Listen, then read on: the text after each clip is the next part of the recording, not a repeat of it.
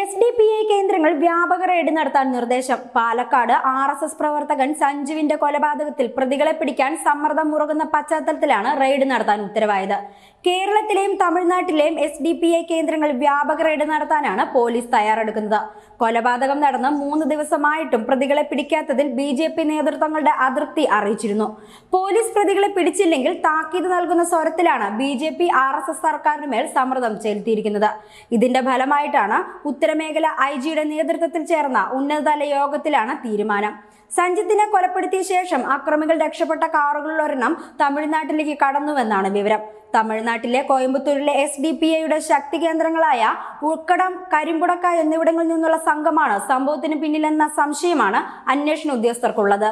ജില്ലയിലെ വിവിധ പ്രദേശങ്ങളിൽ നിന്നായി നിരവധി എസ് ഡി പി ഐ പ്രവർത്തകരെ ഇതിനകം ചോദ്യം ചെയ്തെങ്കിലും കാര്യമായ സൂചനകൾ ലഭിച്ചിട്ടില്ല.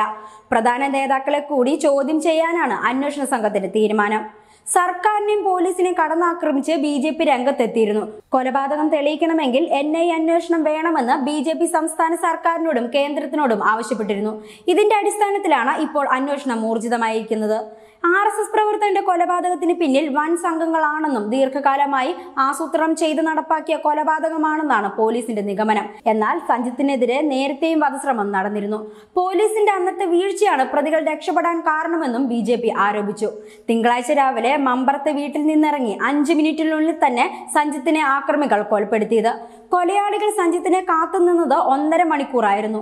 പാലക്കാടെയും തൃശൂരെയും കൊലപാതകത്തിന്റെ രീതി അനുസരിച്ച് പരിശീലനം നേടിയവരാണ് ഇതിന് പിന്നിലെന്നാണ് സൂചന.